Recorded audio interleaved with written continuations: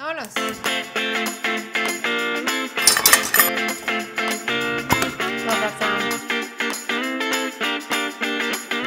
I'm gonna make some braised short rib tacos over homemade corn tortillas topped with chunky guacamole.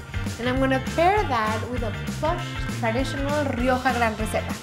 And then for dessert, I'm gonna make a mango pecan tart with fresh slices of mango sitting on vanilla pastry cream with a crunchy crust made with pecans.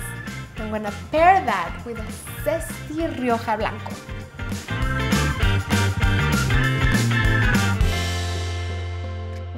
We're gonna start with searing the meat. I have two pounds of beef short ribs. I'm gonna season them with salt and pepper generously. I'm gonna turn on my heat at medium high. I want it to be really, really hot so the meat sears beautifully. I'm going to add about three tablespoons of vegetable oil. You want the oil to be really hot and you can tell when the oil is hot when you start seeing little ripples on the surface of the oil. And you don't want to overcrowd it. What happens is that all the juices of the meat will start to come out and then instead of a sear, you will get a sweat. You want it browned just like this. And we're not cooking it completely because first we sear and then we're gonna braise it. So this is the first layer of flavor. The wines from Rioja come from Spain's most celebrated wine region. I mean, the incredible thing about the wine from Rioja is that they go just as well with a taco as with any fancy dessert that you can think of. So now that all the meat is seared, I'm going to add a cup of white chopped onion and we're gonna let the onion cook and soften for just a couple of minutes. After the onion softened and I can see the edges begin to brown, I'm going to add four garlic cloves that I coarsely chopped right in here. And I want the garlic to soften and cook just until it becomes fragrant. So once I start smelling the cooked garlic and I see it change color, I'm going to pour right in here two and a half cups of pomegranate juice. So we're deglazing the pan so we get all of the flavor from the brown meat which is going to give the dish a lot of depth. And then I'm gonna add about a cup and a half of chicken broth, but you could use beef broth or vegetable broth too. And I'm gonna add a teaspoon of crushed rosemary right in here. So once it's strongly simmering, I'm going to add the brown pieces of meat. So our short ribs will have had the double treatment of having been browned for that nice layer of flavor and then they're gonna braise in the oven in this delicious pomegranate juice mixture so they can become really, really luscious and soft and shred beautifully for some yummy tacos. I have my oven preheated at 350 and I'm gonna put this in there for an hour and a half. While my short ribs are braising, let me tell you about the wine I chose to pair them with. So I went with these Ramirez de la Piscina Gran Reserva 2013. The wines from Rioja are located in the north central part of Spain and I didn't know this but there's over 600 bodegas and winemakers to choose from and if you're like me you go into a store and you're gonna choose wines by the label like what looks more appealing and pretty to you but the labeling system of the wines of Rioja makes you an instant expert because it has this unique and trusted system where you can see the category of wine, which gives you aging cues, style cues, so you suddenly become an instant expert. And Rioja is Spain's oldest officially recognized winemaking region. They have time-honored tradition coupled with contemporary innovation, which makes for consistently exceptional wines. They can match any kind of cuisine, so you can pair them with your next takeout order or home-cooked meal. Yummy I feel them so, like I'm, I'm just touching them with the tongs and they're falling apart. Look at these. I mean, these are like all the things we need for some ridiculously delicious tacos. Mm. So I'm gonna just finish shredding the meat, which like shows zero resistance. It's just like begging to be tucked into those corn tortillas. I'm going to add a little bit of this braising broth so it stays moist and juicy. Perfect. Now I'm gonna make the chunky guacamole. I'm gonna add a quarter cup white chopped onion, one jalapeno that I finely chopped, and the juice of a lime. I'm gonna chop a little cilantro. If you don't like cilantro, you can skip the cilantro and add another herb of your choice. Now I'm adding salt. I'm gonna mix these. So we're macerating the onion, the chile, and the cilantro a little bit. And then I'm gonna use two ripe avocados. Oh, so beautiful, perfectly ripe. Mm, mm, mm. You can leave your guacamole as smooth or as chunky as you want. I love my guacamole chunky. Some people like the guacamole a lot more smooth and you just mash away. I have everything I need for my taco now and I have my wine that I'm gonna pair with.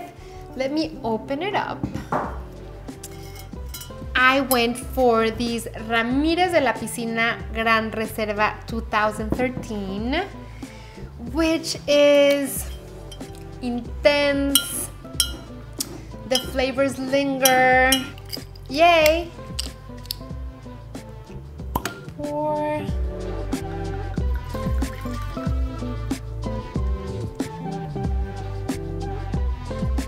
Mm, it's so delicious. So let's build the taco. Oh, this is gonna go so perfect. So I have my tortilla, I have my comal, which is preheated at medium heat. These are homemade corn tortillas, but you can also buy corn tortillas at the store. And now I'm gonna add my meat. I love my tacos chubby, so we're gonna make a chubby taco. Some of the guacamole right on top. Then we're gonna add some queso fresco. So here we go with the taco. Tacos just make me so happy.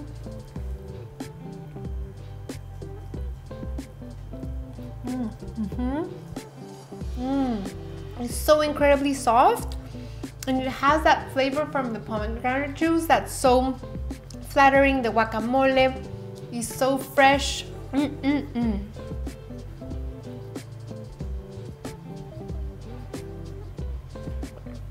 This is like the perfect pairing. You have the dark cherry notes and the intense Asian spice flavor in there that goes so well with the pomegranate. And then you have the fresh bite of the avocado and the salty and slightly tangy queso fresco. This is truly a fabulous match. One amazing thing about Tempranillos is that they're the friendliest for food. They will elevate any kind of dish from tacos to chocolate mousse. Now another choice of wine would be to do not a Gran Reserva, but to do a Reserva.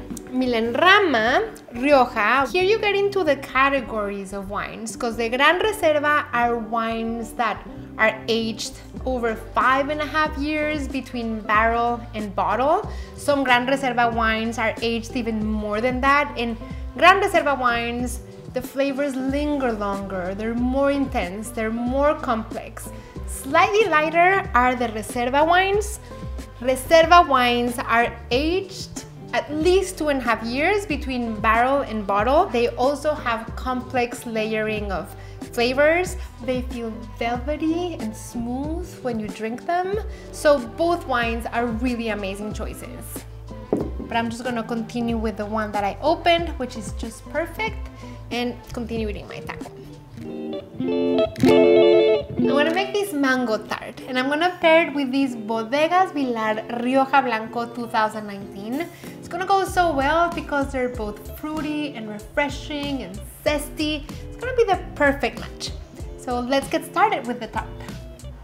So I'm gonna start by making the pastry cream. All you need to do is have a saucepan at medium heat. And I'm gonna pour in here one cup of whole milk.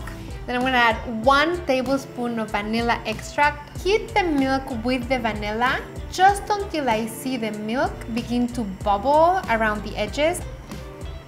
That's good. And now I have three egg yolks right here. I'm gonna whisk the egg yolks until the color has changed from that bright yellow to a more pale yellow color and they've thickened considerably. And now I'm gonna add a quarter cup of sugar and I'm gonna add a couple tablespoons of cornstarch which is what's gonna make my pastry cream thicken. And here I have the milk and because it's still hot, we're gonna pour it in a very, very thin stream so that the egg yolks don't curdle. So little by little, you add a little, you whisk a little, and it already smells like pastry cream. And now that it's all mixed and incorporated, I'm gonna pour it right back. I have my same saucepan right here.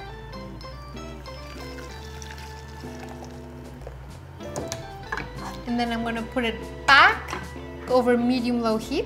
And then I'm gonna keep a careful eye for a few minutes as it thickens. Pastry cream demands a lot of your attention. So you can see how it's now beautifully thick. We have to let it cool until it completely cools and it's even better if it chills. So I'm gonna cover it with plastic wrap and put it in the refrigerator. So now I'm gonna make a glaze. I really like making a glaze for a fruit tart because it gives it a really nice sheen over the top and it also adds a little bit of a sweet and tart taste. So I'm gonna add a quarter cup of apricot jam and I'm gonna squeeze the juice of a lime then I'm gonna turn my heat over medium low and I'm just gonna stir until it all mixes and dissolves. That's it. I'm just gonna let it cool a little and that's that. So now we're ready to put it together. I'm gonna start with my pecan pie crust, but you can use any pie crust that you like. And then I'm going to add the pastry cream that already cooled and chilled and you can see how nice and thick it is. So this is gonna be the creamy custardy layer. You have the crunchy, you have the creamy, you're gonna have the fruity.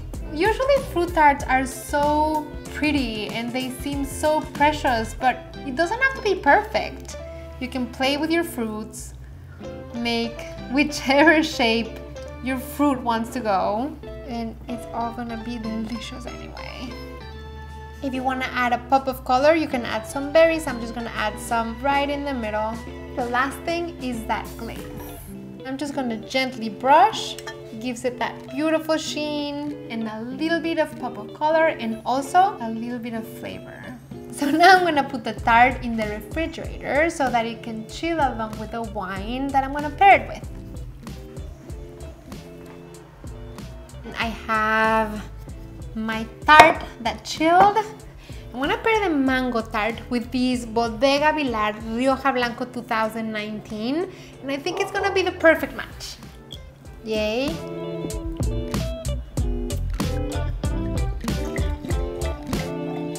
See the beautiful color? Mmm, it's light, it's zesty, it's refreshing, very citrusy, kind of austere, and a little bit minerally.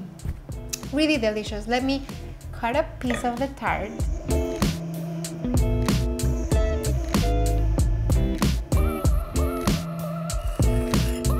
I'm gonna do a couple berries in here too. Let me try.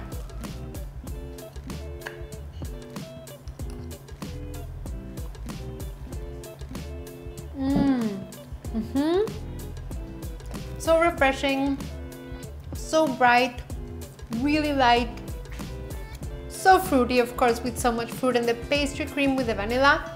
Mm.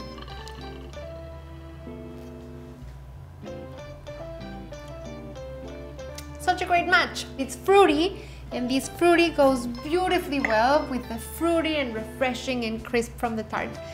Such a perfect match. But what is also a really good match is this Crianza, a Sierra Cantabria Crianza 2017, and different from the Generico category where the Vilar fits, the Crianza has a little bit more aging.